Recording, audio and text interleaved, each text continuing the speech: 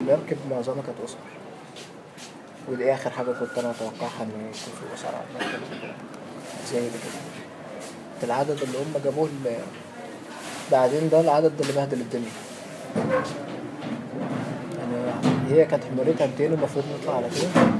جاب كمان مركب فيها 200 المركب دي كان فيها أسر بقى وأطفال وكده. أنا واحد من ضمن الناس عايم لو قلت لك 10 كلمة مش تصدق لحد ما المركب جت خدتني أنا واللي كانت معايا لأن كنت ناقص بنت سورية آه، وديتها وأهلها وعيلتها كلها وماتوا واتعورت ما كانش قدامي غير يعني ربنا عالم أنا نقصتها ونقصت نفسي. يعني لو سمحت عشان التمريض عايز يشتغلك فين بقى بعد ما خلاص مركب سرته جاي على بعد؟ وفضلت أقرب منه.